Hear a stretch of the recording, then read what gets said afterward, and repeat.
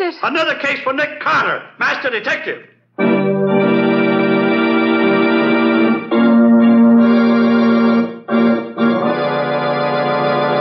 Yes, it's another case for that most famous of all manhunters, the detective whose ability at solving crime is unequaled in the history of detective fiction. Nick Carter, Master Detective. Tonight's curious adventure The unwilling accomplice. Or Nick Carter and the mystery of the society burglar.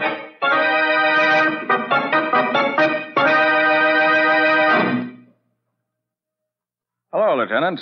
What's new and interesting? Well, well, if it ain't my old friend Nicholas Carter, him that used to be a detective. Yeah, what do you mean, used to be? Uh, sure, my boy, tell me, how does it feel to be old and retired? Oh, come now, Riley. I get it. You're a little peeved because I've turned down those few cases you've offered me lately. It's not a few separate cases, Nick. It's all been the same gang, I'm sure of it. Uh, they're the slickest bunch this department's ever been up against. We need your help, Nick. Look at this. Came over the wire only this morning. Hmm. Another society robbery. Quite a haul. Yes, my boy, quite a haul. $75,000 in gems right out of the vault. What do you say now, Nick? Riley, I think you're right. Looks like the same hand in every job. Well? Well, I suggest that for your criminal, you look for someone who's accepted in the homes of society. And is just about the greatest safecracker in the country as well. Oh, thank you, Nick. That's a very great help, I'm sure. Oh, I'm sorry, Riley, but really, I'm not interested. You know I don't take a case unless. Well, what in the name of Wow. That was close. That stone missed you by inches. Sure, somebody's trying to bean me now, is it? Well, I'll fix that. Now, wait a minute, wait a minute, Riley. That isn't it. This seems to be a little matter of communication. Communication? Yes, look. There's a note tied to that stone. Well, now, hand that over here. Here you are. Ah, let's see what it. What is it? Well, uh, listen to this, Nick.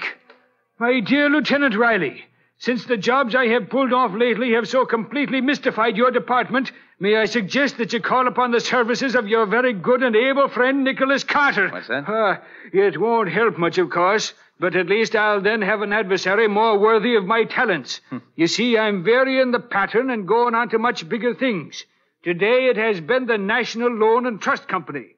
It is not only theft, but murder as well. Hmm. Well, Nick, what do you make of that? Very interesting. Interesting, is it? Why, the cheek of him! The, the National Loan and Trust Company, he says. And murder, he says.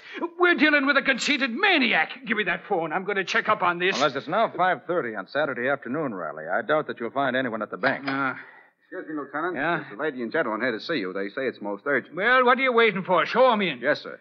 This way, please. Thank you. Lieutenant Riley, Yes? permit me to introduce myself. I'm Butler Pierce, and this is Miss Olive Belden, my fiancée. I'm pleased to make your acquaintance. Now, wh- what can I be doing for you? You can help us find Miss Belden's father. He's missing. Oh, missing, huh? Yes, Lieutenant. Dad's been gone for hours, and I'm beginning to fear something dreadful may have happened. Oh, excuse me. This is Nick Carter, Miss Belden, and Mr. Pierce. Nick Carter, the detective? The same, Miss Belden. Oh, I'm so glad, Mr. Carter. Would you, would you, I mean... Isn't your alarm somewhat unwarranted? Your father hasn't been missing very long, I take it. That's true, Mr. Carter. Only three hours to be exact, but under the circumstances... What Miss Belden means, Mr. Carter, is that it seems as if her father had disappeared into thin air. How do you mean, Mr. Pierce? Well, the last time she saw him, it was through the living room window. From there, she could look out over the court into his private office at the bank. And when she. Bank? D- did you say bank, Mr. Pierce? Why, yes. Olive's father is Wayne Belden, president of the National Loan and Trust Company. Did you hear that, Nick? The, the National Loan and Trust Company. Yes, Riley. There's not a minute to be lost. Come on.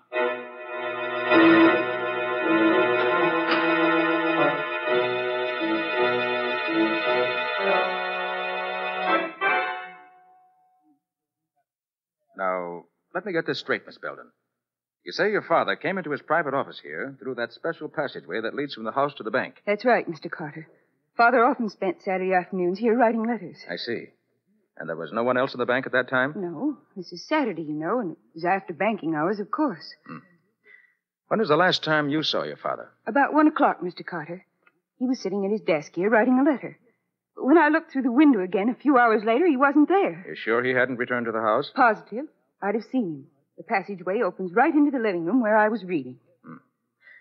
Well, what happened when you looked for him and he wasn't there? Well, just about then, Mr. Pierce called on me. I told him about Father's absence, and we Both went to look for him. I see. About what time was that? Oh, about four o'clock. Mm-hmm. And so you you both went into the bank as soon as you missed your father. Yes, we found Mr. Belden's office just as you see it now. Then we looked all through the bank. There wasn't a sign of him anywhere. Now, wait a minute, all of you. What was to prevent Mr. Belden from walking right out the front door of the bank? As easy as that. Well, that's not very likely, Lieutenant. He was wearing his house slippers at the time, and he had no coat or hat. Oh. And not only that, Riley. You see this letter here on Belden's desk? Huh? He was writing it when something interrupted him. Hmm. You notice anything peculiar about it? Well, no, except that he broke off in the middle of a sentence. More important than that, Riley. He stopped in the middle of a word. Belden was interrupted very abruptly. Oh, that must be the cashier now. Hello, Mr. Cook. Come in. Hello, Miss Belden. I got here just as soon as I uh, could. This is Mr. Carter and Lieutenant Riley. Good afternoon, gentlemen. Now, what's all this I hear about Mr. Belden disappearing? That's right, Mr. Cook. But I've an idea. He'll soon be found. What do you mean by that, Mr. Carter? I've asked Mr. Cook to come down here because, as the cashier of the bank, he's the only one beside Mr. Belden who knows the combination to the large vault. And I want that vault opened. Immediately. But that's impossible, Mr. Carter. The large vault operates on a time lock. It can't be opened until 9 o'clock Monday morning. We can't wait that long. It must be open now. I'm sorry, Mr. Carter. That's impossible. Then I'll do it myself. But it's impossible, I tell you. Give me one hour and we'll see how impossible it is.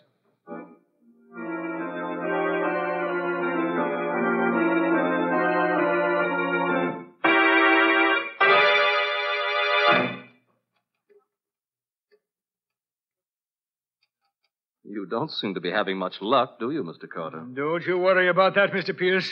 I never saw the lock yet that could keep its secrets from Nick Carter very But long. not that kind of luck, Lieutenant. Why, there isn't anybody in the world that could. By heavens, he did it. There we are, gentlemen. I told you so, Pierce. Riley. Huh? Look there. Yeah, wh- What is it, Nick? There in the corner. His father! Yes, Miss Belden. Your father's been murdered.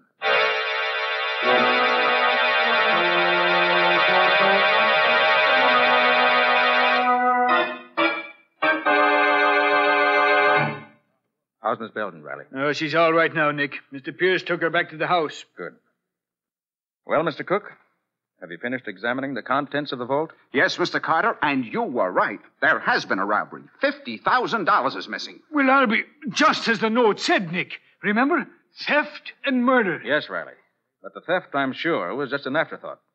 Mr. Cook, did Mr. Belden have any enemies? Why, uh, not that I know of. What can you tell me about Mr. Pierce? What do you mean? Well, was he friendly with Mr. Belden? Oh, yes, yes, quite. They were very good friends. They'd known each other for years. And was Mr. Pierce in the habit of visiting Mr. Belden in his office at the bank? Oh, yes, yes, very often. He uh, had an account here, rather large one, I might add. Mr. Pierce, you know, is a very wealthy man. Indeed. Yes, sir. Hey, wh- wh- what's that you've got in your hand there, Nick? Oh, this, this. It's part of a cufflink, Riley, with a very interesting stain on it. A fresh blood stain Where'd you find it, Nick? in the dead man's hand. But there was no blood on the body. He, he was done in by a crack on the skull. There, there was no bleeding. Exactly, Riley. It's undoubtedly the murderer's own blood. Probably tore his hand on the broken edge of the cufflink in the scuffle. Do you uh, want me for anything else, Mr. Carter? Oh, uh, no, thank you, Mr. Cook. That'll be all. Well, good day. Good day, sir. Oh, Mr. Cook, one more thing. Yes? Tell me, is Mr. Pierce in the habit of wearing his gloves indoors? His gloves? Why, uh, why, no, never. But, uh, wait. Come to think of it, he was wearing them just now. Wasn't he? Yes, he was. Well, thank you, Mr. Cook. Thank you very much.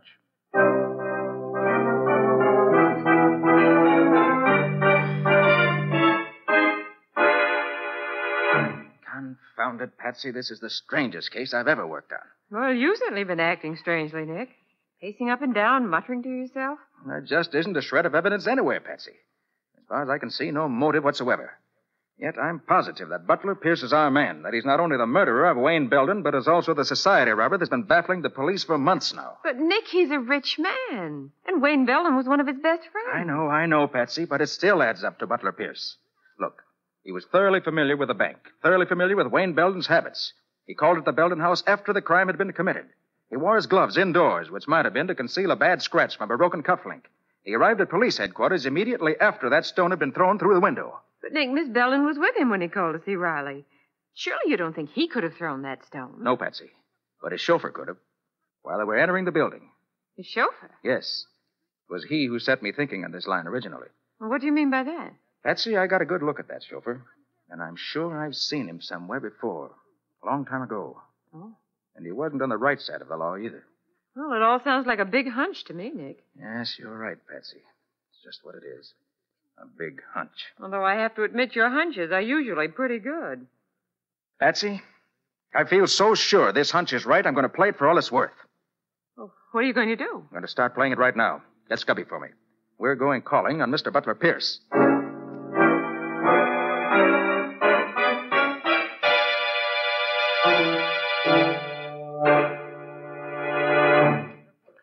You're taking a long time opening that safe, Nick. Well, it's a tough baby, Scubby.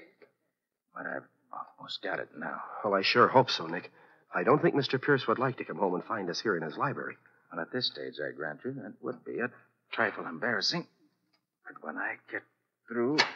Ah, I did it. Now, let's see what we have here. No, not there. Scubby. Look at this. Why, it's full of jewelry. And it's the real stuff. Yes. Unless I miss my bet, every piece of it will answer the description of some stolen gem. Well, let's see what else now. Uh oh. What's that, Nick? What does it look like? It looks like a package of bills, and all big ones, too. It's exactly what it is, Scubby. Let's see how much. Five, ten, Boy, look at those thousand dollar bills. twenty, thirty, forty, forty-five, fifty thousand dollars, Scubby. The exact amount stolen from the bank. Well, of course, it could be a coincidence, Nick. Yes, it could be, but I doubt it. Ah, this does it. Scubby, we don't have to speculate any further. No? This letter I found on the drawer here clears up everything. Listen to this. Yeah. Dear Butler, this is a warning to you to permit you to escape if you care to do so. I have definite proof that you're a thief, and on Monday morning I shall place that proof before the proper authorities. You have until that time to escape. Signed, Wayne Belden. Gosh, Nick. Yes, Scubby, gosh. And there we have the motive for Wayne Belden's murder. So your hunch was right after all, Nick. The rich Mr. Pierce is nothing but a thief. And a murderer, Scubby. Oh, well, look, Nick, you better get out of here. Scubby, now. it just came to me. What? Butler Pierce's chauffeur is really Jim Martin. I knew I'd seen him before. Jim Martin. I never heard of him, Nick. No, that was before your time. Oh. I tangled with him many years ago on the West Coast. One of the cleverest cracksmen in the business. He could open almost any safe I could. Oh, so that's it. He and Pierce have been working together. Yes. Pierce with the front and real brains, while Martin supplied the technical skills, so to speak. Oh, I see. Well, what now, Nick? Scubby? Yeah. I want you to clear out of here quick. Take Wayne Belden's letter with you. Mhm. Get it to Lieutenant Riley immediately and tell him to pick up Jim Martin. Oh, well, what about Butler Pierce? Don't you worry about him, Scubby. I'm staying right here. I want to tackle Butler Pierce myself.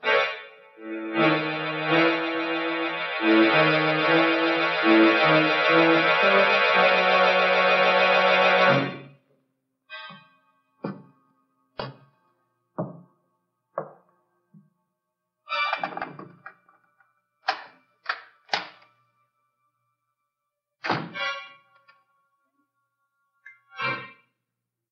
evening. Nick Carter. What are you doing in my house? Waiting for you, Mr. Pierce. What do you want? I want you to be reasonable and not make any fuss. This isn't the water pistol I've got in my hand. Have you gone mad? What in the world are you talking about? It's no go, Pierce. You can drop the act. I took the liberty of going through your safe. Oh, so that's it. You're pretty clever at getting into safes, aren't you? Yes. As good at it as your pal, Jim Martin. Oh, I see. Well, I guess I underrated you, Carter. No, Pierce. You overrated yourself. Perhaps. What's your next move? My next move is to turn over to the law a thief and a murderer. Turn around. Get your hands behind you. Uh huh. So there is a scratch on your wrist, just as I expected. There. Guess those handcuffs ought to hold you for a while. Sit down on that chair. And stay there.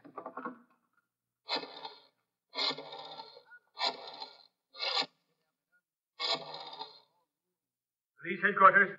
Lieutenant Riley speaking. Oh, hello, Riley. This is Nick. Oh, yes, Nick. What is it? Riley, I got the murderer of Wayne Belden for you. Oh, you have, eh? Mhm. Good work. Who is it, Nick? Butler Pierce. Butler Pierce. Uh, Nick, are you sure you're not making a mistake? Quite sure. Scubby should be at my headquarters any minute now with all the proof you want. Uh, where are you calling from, Nick? From Pierce's home. He's sitting in a chair right behind me with a pair of handcuffs on him. Oh. I'll expect you to. Nick! Nick, what is it? Hello! Hello!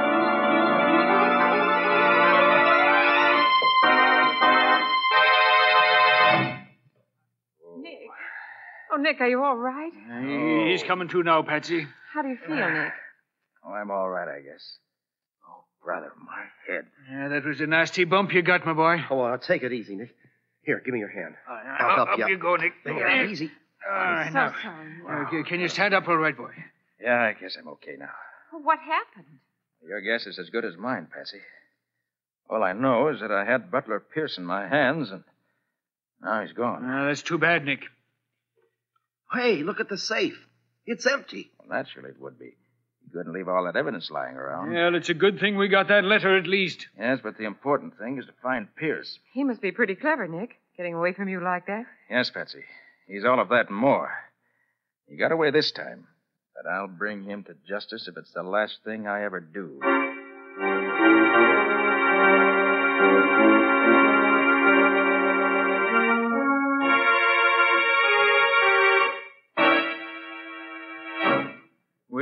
Nick, we got Jim Martin anyway. Picked him up late last night. Good work, Riley.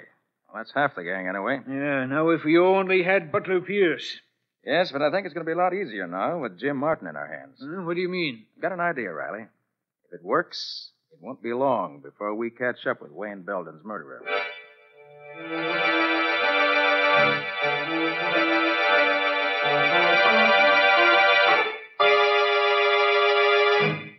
Well, Martin, we meet again. Yeah. Been a long time, ain't it, Carter? Yes. But I never forget a face, Martin, no matter how much has been changed. I must say, though, that the doctor did a pretty good job on you. But it just isn't quite good enough. Yeah, you're a smart egg, all right. I guess the boss knows that by now. He's a pretty keen one himself, Martin. I had him, but he got away. Did, huh? Mm-hmm. Boy, he sure is a slick one. Well, I thought when I had the cuffs on him. Say, you didn't make the mistake of trying to hold him with a pair of handcuffs, did you? Yes. Why? there ain't a pair made that could hold Butler Pierce. He's a regular whiz. Maybe so. Martin, you're in a pretty tough spot. Murder's serious business. Murder? Oh, no. You're barking up the wrong tree, Carter. I didn't have nothing to do with that. But you did open the vault at the bank. Sure. Like I done all the job for Pierce after he paved the way. But murder, that ain't my racket. Uh, maybe not. But it'll go a lot easier with you, Martin, if you play ball. Meaning? You know where Pierce's hideout is. Sure. What about it? We want you to help us put the finger on him. now, you ought to know me better than that, Carter. That's what I thought you'd say. I have a proposition for you, Martin. You help us track him down, we'll set you free. The answer is still the same. I'm no stool pigeon. Well, Martin, we're going to let you walk out of here anyway. What do you say to that? I say it won't work, Carter. What do you mean? Listen, I'm onto your game. You're going to set me loose so you can tail me. Ain't that it? Because that's the last thing I'd ever do. And I'm telling you that right now. And yet, Martin, that's exactly what you're going to do.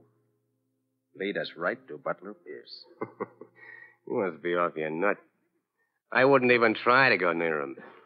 In fact, I'd do everything I could to throw you off. I know that, Martin. And yet, in spite of yourself, you're going to help us catch Butler Pierce.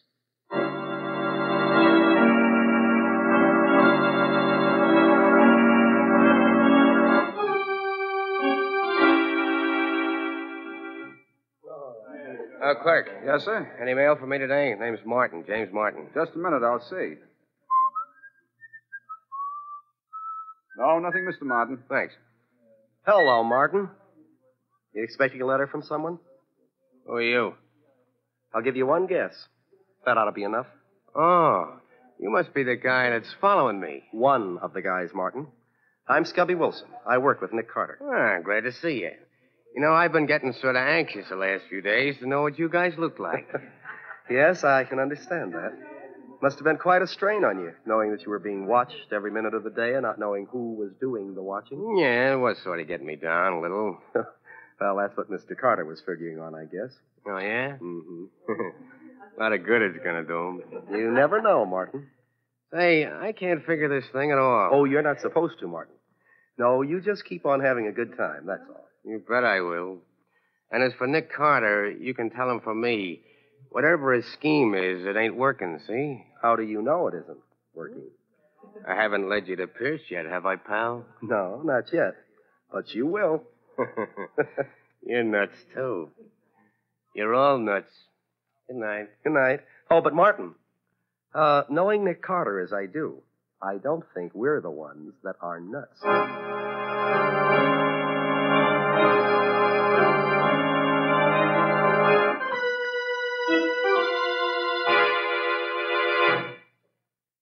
Nicky, you don't look like that little plan of yours is going to pay off, does it now?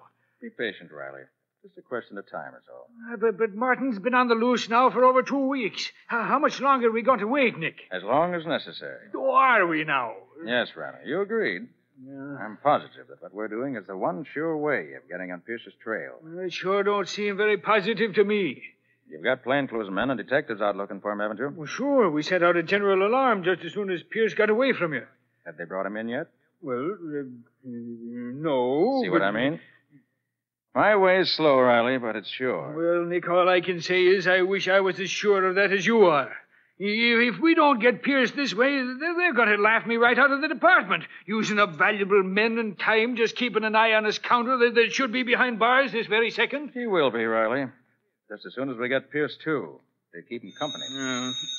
Uh, police headquarters, Lieutenant Riley speaking. Yeah, yeah, yeah, he's here. For you, Nick. Yeah. Mm, Thanks, Riley. Oh? Oh, yes, Scubby. Yeah? Uh, oh, you did it. Okay, that's fine, Scubby. Good work. So long, Scubby. Well, Riley, it looks like this is it. Yeah? What happened? Did Martin finally get in touch with Pierce? No, Riley, it happened as I expected. The mountain came to Mohammed. Who did what? Unless I'm very much mistaken, Pierce has finally got in touch with Martin.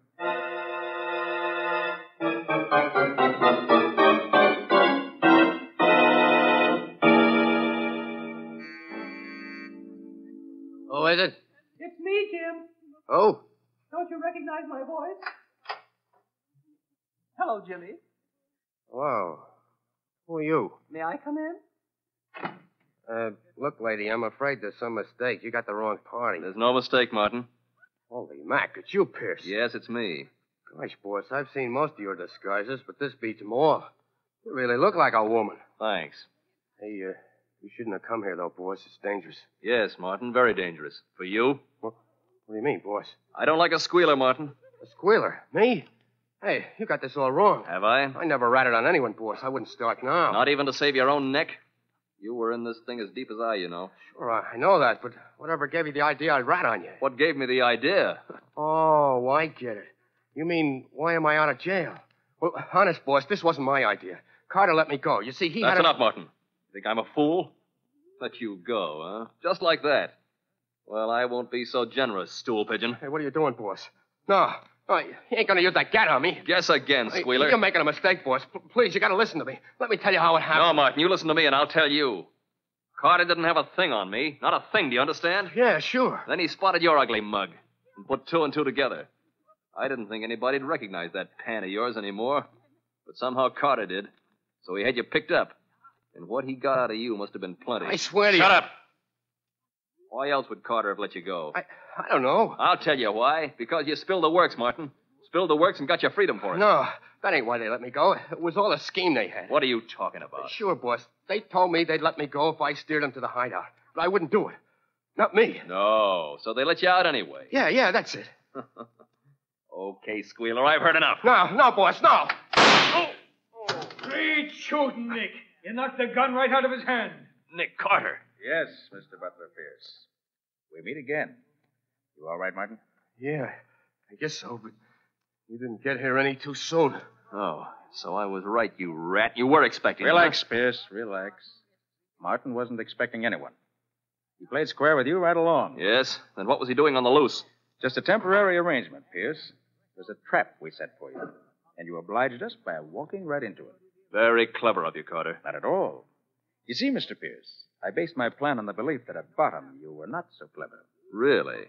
And how do you mean that? Because instead of doing the really clever thing, getting as far away from here as you possibly could, I felt sure that your personal vanity would lead you to expose yourself to almost any risk in order to get the man you thought had betrayed you. All gangsters react that way. You can hardly consider me a gangster, Mr. Carter. At heart, that's exactly what you are. And that's what I counted on. So you had it all figured out. Yes. I also counted on your pal Martin doing exactly as he did. After we let him go, he laid low for a while. He was afraid of what we were going to do. But after a few days of that, he got bored doing nothing, just as I figured he would. Made a lot of money out of jobs you two did together, and now he wanted to spend some of it. So he stepped out, visited the high spots, stayed at a fine hotel. So I heard. Yes, I knew you would. Matter of fact, I counted on it. You figured we'd let him loose and had paid him well for squealing on you. Well, Pierce, you put two and two together, all right, but you got the wrong answer. And the wrong answer you got is going to send you to the electric chair. It's the end of the road for you, Mr. Pierce. Mr. Carter, I gotta take my hat off to you. Really, Martin. And to what am I indebted for this great honor? Well, you said I'd lead you to Pierce, and I said I wouldn't. And you made me do it. And you even knew what I was thinking all the time I did it. Yes, Carter. You're cleverer than I thought you were. Thank you, gentlemen. I'm uh, very happy. I can't say the same for you two.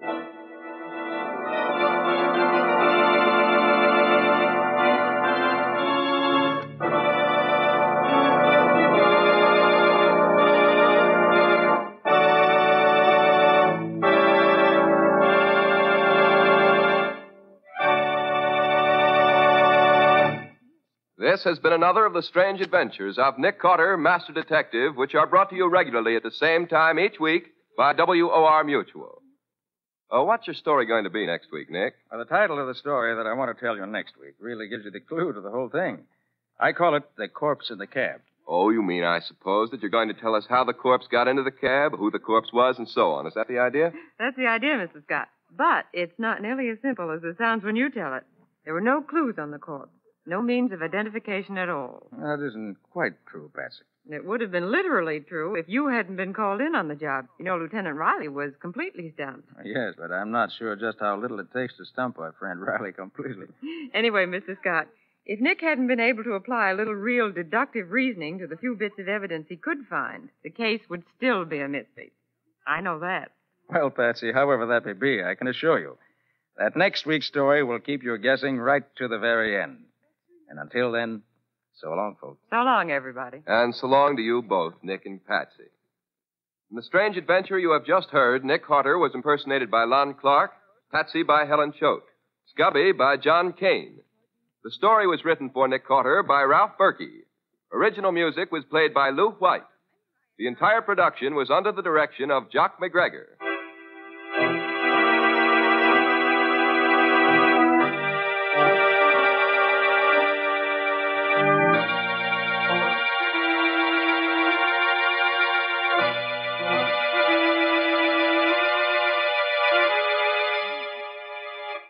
Next week at the same time, listen to another curious experience of Nick Carter entitled The Corpse in the Cab.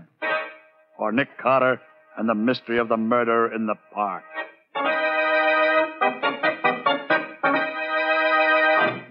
This story is a copyrighted feature of Street and Smith Publications, Incorporated. The Return of Nick Carter is produced in the studios of WOR and is broadcast over most of these stations every Saturday evening at 7 o'clock Eastern War Time. And don't forget the adventures of Nick's adopted son, Chick Carter, are broadcast over most of these stations Monday through Friday at 5.30 p.m. Eastern War Time. This is Mutual.